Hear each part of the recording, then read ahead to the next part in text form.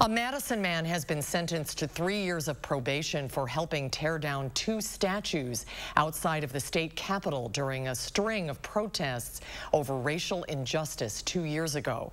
28-year-old Jacob Capps pleaded guilty to one count of felony criminal damage to property and was also ordered to pay $5,000 in restitution. Capps entered the guilty plea to toppling the forward statue on the Capitol Square on the night of June 23, 2020. A second felony count for helping take down the statue of abolitionist Colonel Hans Christian Heg that same night was dismissed. Both statues have been repaired and replaced.